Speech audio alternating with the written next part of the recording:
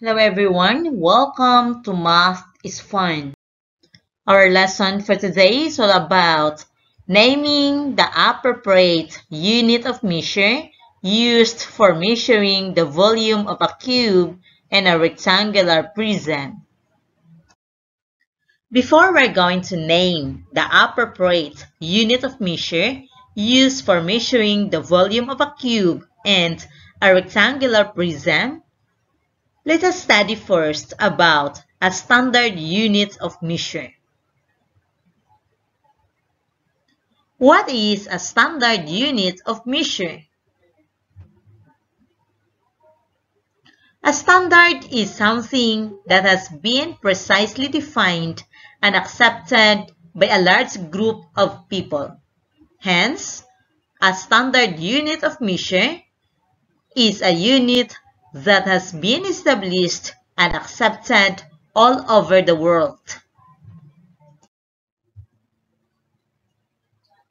What is the standard unit of measure that most countries used all over the world?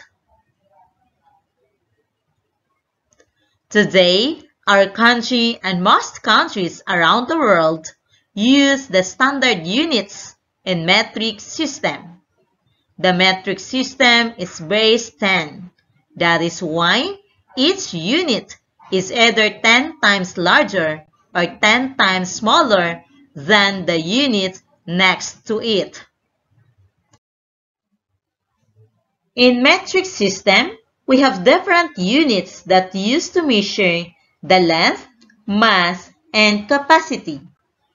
The basic unit for length is meter, for mass is gram, and for capacity is liter. Here are the units of measure for length or for linear measurement. We have kilometer, hectometer, decameter, meter, decimeter, centimeter, and millimeter. The following are the units of measure for mass. We have kilogram, hectogram, decagram, gram, decigram, centigram, and milligram. The last but not the least are the units of measure for capacity kiloliter, hectoliter, decaliter, liter, deciliter, centiliter, and milliliter. After we discuss about the units of measurement for length, mass, and capacity, let us study the appropriate unit of measure for measuring the volume of a cube and a rectangular prism.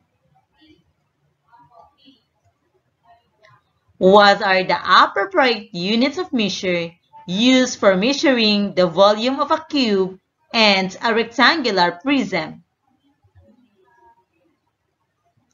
Since a cube and a rectangular prism are solid, thus, the appropriate and most used units of measure for measuring the volume of a cube and a rectangular prism are cubic millimeter, cubic centimeter, and cubic meter. It can also be a cubic foot and a cubic inch. I hope that you understand our lesson for today and thank you for watching.